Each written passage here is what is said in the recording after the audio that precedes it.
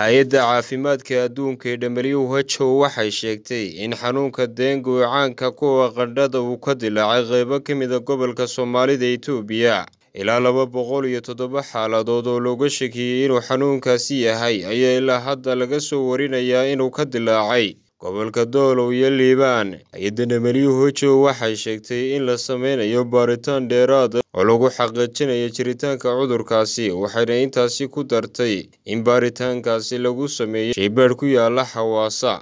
deegaanadaasi ayuu isla xanuunka dengue hore uga dilaacay sannadihii labada kun toddobiyo toban iyo labada kun siddeed iyo toban. Nafaqa yaraanta bulshada oo ka dhalatay abaaraha daba dheeraada iyo barakaca ayaa sabab u ah kiisaska kordhay ee xanuunka dengue ee degmooyinkaasi ayaa lagu yidhi war-saxaafadeed ay soo saartay WHO hay'adda ayaa hoosta ka xariiqday baahida degdeg ee loo qabo in la buufiyo kaneecada oo gudbisa xanuunkaasi waxaanu ku baaqanaa inay dowladdu sii wado doorkeeda hogaamineed iyo tallaabooyinka lagu hubinayo fayadhowrka caafimaadka dadweynaha si loo xoojiyo faafitaanka xumadda dengue ayuu yidhi. Madaxa hay'adda WHO u qaabilsan Itoobiya